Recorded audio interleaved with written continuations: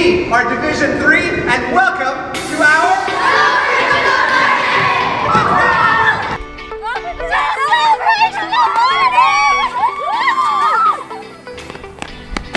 Welcome to our celebration of learning! Welcome to our Celebration of learning! Welcome to our celebration of learning!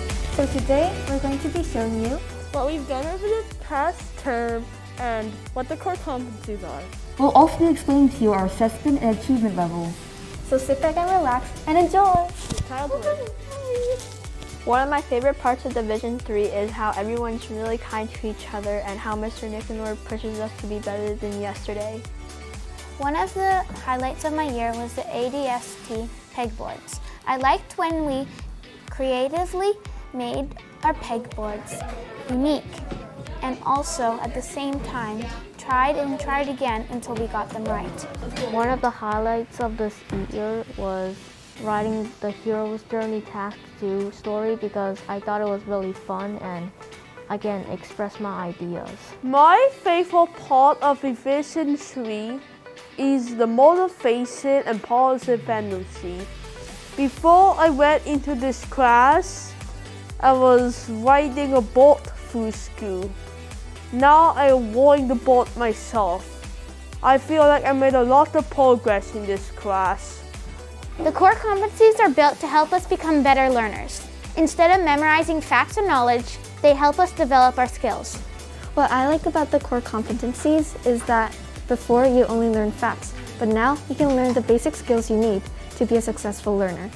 One of the reasons I love the core competencies is because I can see I can connect with them and I can see where I need to work on. Before I would just see like what I need to work on um, facts and factual information, but now I can work on being a better person.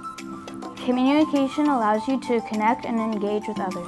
It is also to make connections and share your ideas and express your individuality. Communication can help you with your knowledge, skills, and interactions with classmates and teachers. The communication competency can find you satisfaction, purpose, and joy. Some may think you have to be good at public speaking to be good at communication, but it is only a tiny part of it. Communication is the ability to interact your opinions and your thoughts in a very meaningful way. It is also the ability to interact well with your, your peers and your group. The communication core competency has been misunderstood lately. Many believe it's someone who is able to speak very well or has great presentation skills, but that's only a portion of it. The communication core competency is the ability to take information and reflect on it, think about it, and being able to express it and communicate and present it in a way that's very meaningful and can connect with others. Creative thinking is when you take one great idea and separate it into many other great ideas. Um, creative thinking, in my opinion, is like you can take an idea and turn it into multiple ideas. Creative thinking is when you come up with one idea and make that one idea into separate ideas. For example, we used creative thinking in our PE project to figure out what our project was going to be. Creative thinking is when you have one big idea and turn them into many ideas.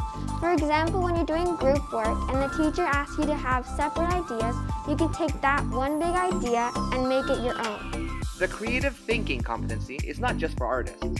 This competency has everything to do with taking an idea and being able to process it. You're able to generate ideas, build off of it, and even innovate that one idea so that you have multiple ways of expressing it. So in summary, creative thinking, it's not just for those who think that they're artistic. It's the ability to take one idea, develop it, innovate it, generate more ideas, or even build off of that one idea so that you have a multiple and variety of ways that you can express it. And that is how you become a creative thinker.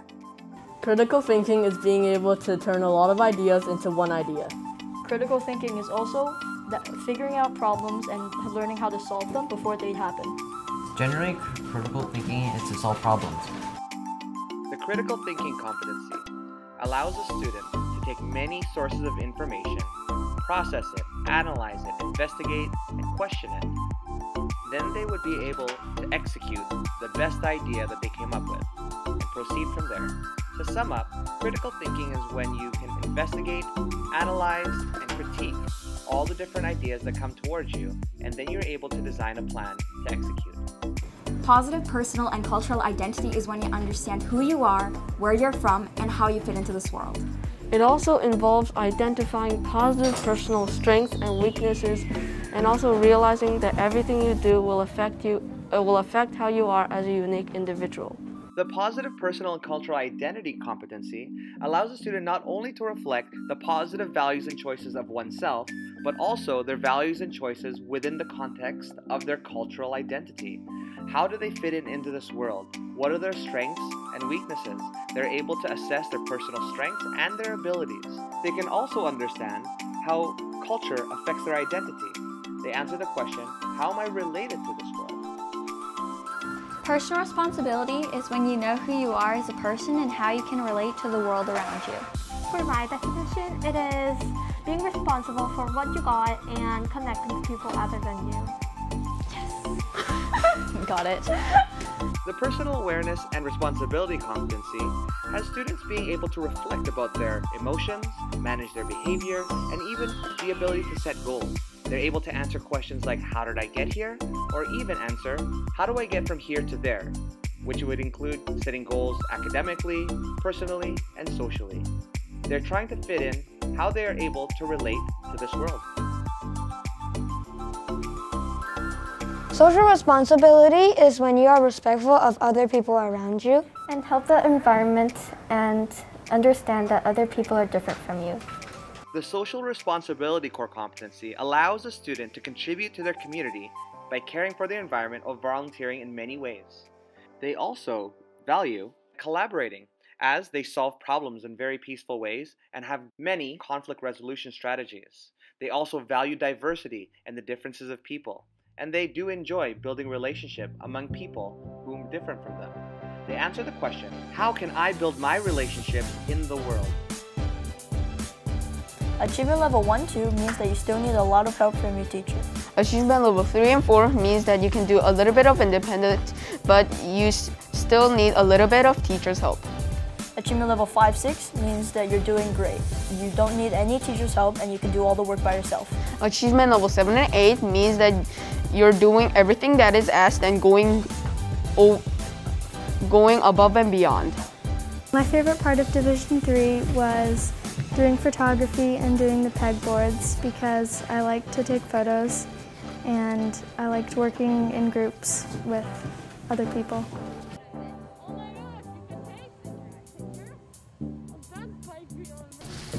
And I like taking pretty pictures. Things that I've enjoyed this year is making my own planet in social studies and making my own story in LA. I also feel that I'm still a part of the class even though I'm online. I love everything in Mr. Nicanor's philosophy. I love that he makes me do my work. One of the favorite part of Mr. Nicanor's class is that we can hear Mr. Nicanor's fun jokes. Some of them are fun, but some of them are dad jokes, so we gotta laugh to make him feel good. One of my personal favorite quotes that Mr. Nicanor has said to us in this class is, it's not what you have done in the past that defines you, it's what you do next. Before I met Mr. Nicanor, I was wandering through school, barely learning anything from rear to limb. I went from rear to rear. But then when I met Mr. Nicanor, everything changed. He motivated me and he pressured me to walk, and I loved it. Hey mom, hope you're proud of me. Thanks for coming to the celebration of learning. Love you. 엄마, 난 엄마가 이걸 봐줘서 고맙고 엄마가 여기 와줘서도 고마워. 엄마가 날 내가 내가 자랑스럽길 바라고 그 다음에 사랑해. 妈妈、爸爸，谢谢你们来看我的 celebration of learning. Watching our celebration of learning. Hi everyone, thank you for coming to celebration of learning. One of the memorable quotes that Mr. Nicanor told us is, you don't have to be the best. You just have to be, have, have to be, have, yesterday. yesterday.